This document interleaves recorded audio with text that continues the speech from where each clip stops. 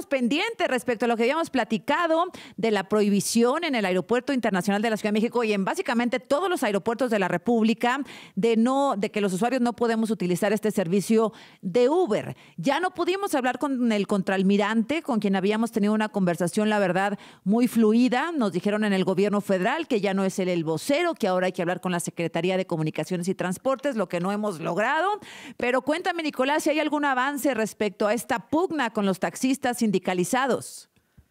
Bueno, la verdad, a mí no, me gusta hablar de, de, pugna, pero la verdad es que justo tocó la transición de gobierno. Y este es un tema que quedó, quedó inconcluso, necesita una solución, necesita una solución para las millones de personas que utilizan los aeropuertos a nivel nacional y esperamos que las nuevas autoridades eh, prontamente se hagan cargo del tema. Estamos esperando eh, se habló de, de, ir mesas de trabajo, se habló de que esto era una prioridad y eh, han pasado dos semanas y todavía no recibimos ningún tipo de noticias, lamentablemente. Oye, entonces nada, nos quedamos en, el mismo punto de cuando hablamos hace un par de semanas. Exactamente. Y el tiempo sigue corriendo, las personas forzadas muchas veces a desplazarse. Y acá lo que va a ocurrir es que vamos a lamentar algún hecho de seguridad, algún atropello. Y en ese momento creo que eh, se va a generar la tensión de vida y lo que queremos es justamente que eso se evitarlo. Oye, este, fíjate Nicolás, escuché días después de que hablamos tú y yo en la ocasión anterior decir que no era cierto que se tenía una suspensión eh, por parte de la plataforma Uber y que no era cierto que podían operar en el aeropuerto. Bueno, la verdad es que nosotros eh, contamos con una suspensión definitiva, tenemos todo el derecho de operar y las autoridades están al tanto de ello. O sea, yo creo que aquí también el hecho de que se haya cambiado el vocero y, ya no se esté dando vocería a justamente personas que se estaban dando información imprecisa. Yo creo que la ley hay que respetarla y un amparo y una suspensión definitiva eh, hay que respetarlo y las autoridades tienen que respetarlo. ¿Es en la Ciudad de México o en toda la República? No, es, a nivel nacional. A nivel nacional, es decir, cualquier persona puede abordar un Uber en cualquier aeropuerto de la República. Así es, así es. Eh, ¿Han tenido algún tipo de agresión en las últimas semanas por parte de los ah, taxistas? Hasta ahora no hemos tenido ah, reportes y eso es, positivo. Ahora, eh, bueno, entonces siguen, siguen operando bajo este amparo, bajo esta suspensión definitiva. Así es, sí, pero el, llamado que hemos hecho siempre es a buscar esa, ese entorno regulatorio que permita una convivencia armónica. La idea no es eh, funcionar a, costa de amparos y suspensiones, la idea es que las autoridades asuman el liderazgo y resuelvan esto como se ha hecho en todos los países eh, del mundo. Pero por lo pronto está congelado. Así es, no hemos visto mucho avance en, las últimas semanas. Eh, y esperemos que prontamente sean convocadas esas mesas. ¿Van a intentar ustedes empujar a que se convoque a esta mesa? Nosotros hemos sido proactivos y la verdad es que el deseo siempre es de colaborar. Eh, pero acá el que tiene que asumir el liderazgo, obviamente, eh, es la Secretaría de Transporte.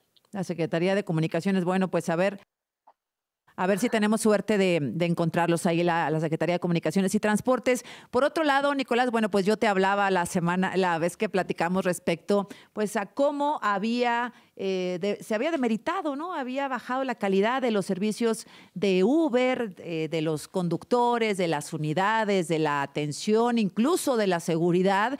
Y lo mismo con el tema de este servicio de Uber Eats, ¿no? Que como sabrás, bueno, pues hay muchas, supongo que por la gran demanda, pues hay muchas quejas respecto al servicio, Nicolás. La verdad es que no, no tenemos, eh, y, sobre eso me gustaría clarificar, nosotros siempre medimos la calidad del servicio, la satisfacción usuaria, la satisfacción de repartidores, y eh, el servicio es muy bien valorado y por eso ha tenido un amplio despliegue en casi todas las ciudades del país.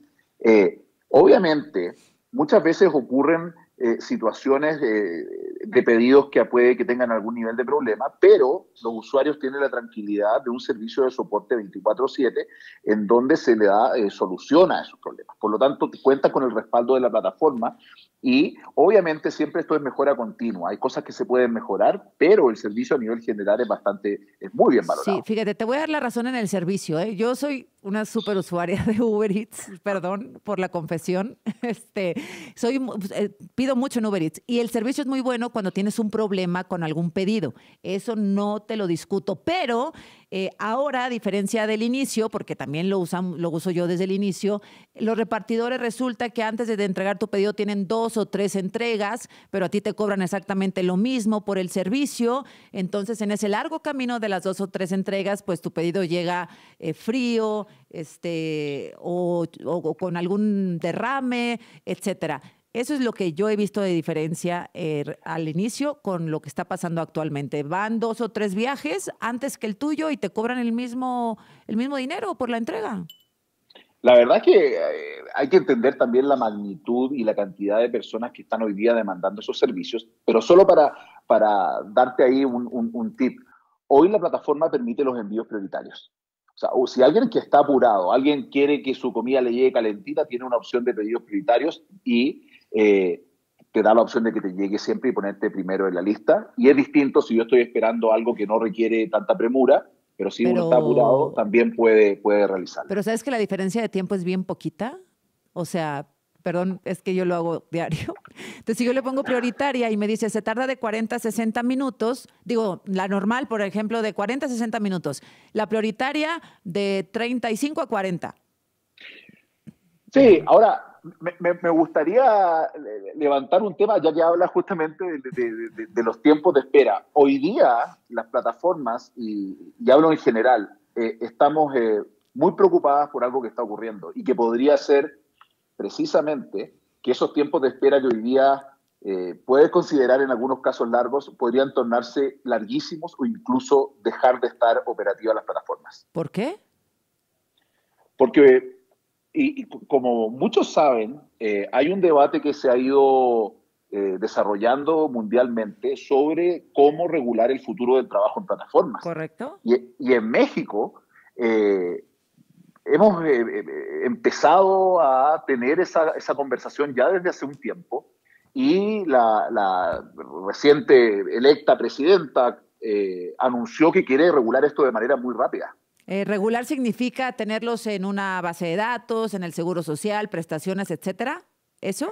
Eh, mira, ¿por qué estamos tan preocupados? Porque se habló de que hay una propuesta que está lista para regular esto, en donde todas las personas que hoy día reparten de manera flexible, de manera independiente, sin tener ningún tipo de eh, barreras, se les quiere regular como trabajadores tradicionales. ¿Y por qué soy súper eh, vago en la descripción? Porque se habló de que una propuesta está lista y la industria jamás ha visto esa iniciativa. Ah, ok, a ver, cuando regresemos del corte, para no interrumpirte, quiero que me digas qué te preocupa de este intento de regulación, por favor, Nicolás, si eres tan amable. ¿Me esperas un, momentito? Gracias. Nicolás Sánchez, director de Asuntos Públicos de Uber. Gracias a Nicolás Sánchez, director de Asuntos Públicos de Uber, por mantenerse en la línea. Me decía, Nicolás, que estás preocupado porque la presidenta Claudia Sheinbaum dijo que eh, había una regularización para los conductores o los miembros de esta plataforma. Vamos a escuchar cómo lo dijo, por favor. Este mes enviaremos la ley para garantizar la obligatoriedad de la seguridad social para las y los trabajadores repartidores de aplicaciones telefónicas. ¿Qué te preocupa de esto, Nicolás? Y la verdad es que la preocupación no es por el anuncio y por la intención de regular. Nosotros como Uber y hoy día como industria, porque tenemos una asociación de industria eh, de plataformas, eh, compartimos la necesidad de buscar mayores niveles de protección para los repartidores. Lo que nos preocupa es que se está hablando de una propuesta que al parecer ya está discutida, ya eh, está lista para enviarse al Congreso y nosotros no hemos tenido ninguna visibilidad de eso. No hemos participado en un diálogo, no ha habido un intercambio de ideas y este es una, un tema que sobrepasa a las, eh, a las empresas de plataforma.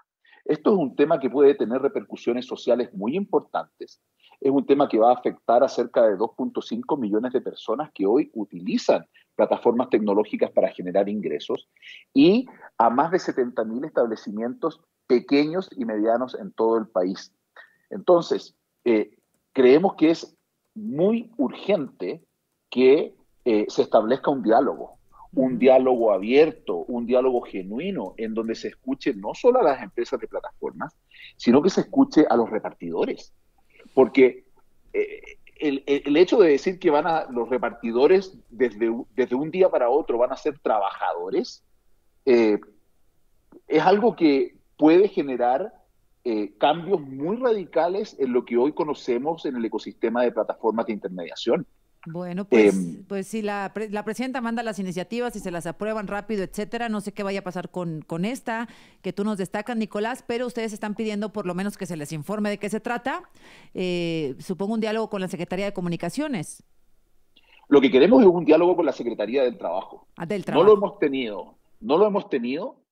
Insisto, tenemos todo el deseo de colaborar, conocemos ejemplos internacionales que son exitosos, que han permitido brindar protección, seguridad social, y no estoy hablando de países lejanos. Hoy en Brasil, en Colombia, los gobiernos han convocado a mesas de diálogo, mesas de trabajo, con plazos establecidos para que esto no se transforme en algo que no, que no avance, pero es necesario incorporar la visión de todos los actores. No es posible que se esté eh, intentando regular sin convocar a un diálogo social. Bueno, déjanos ver si el fin de semana logramos establecer contacto con Marat Bolaños de la Secretaría del Trabajo y si hay alguna novedad, te volvemos a, molestar, Nicolás. Muchas gracias. Muchísimas gracias, Lucena. Gracias, gracias un abrazo. I am your father. Entre guiones.